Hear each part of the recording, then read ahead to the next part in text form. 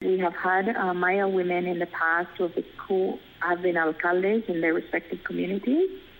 However, it is the first time that we have uh, a Maya woman alcalde elected as, an, as a part of the executive leadership of the Toledo Alcaldes Association.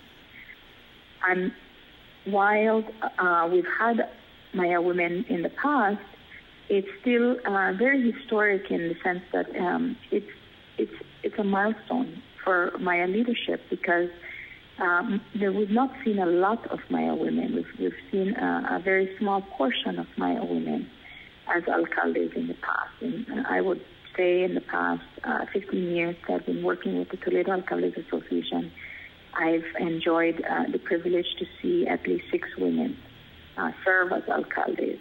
However, this is the first time that I've seen a Maya woman actually sit at the helm of leadership of the assembly of 78 alcaldes. And so that is historic in and of itself.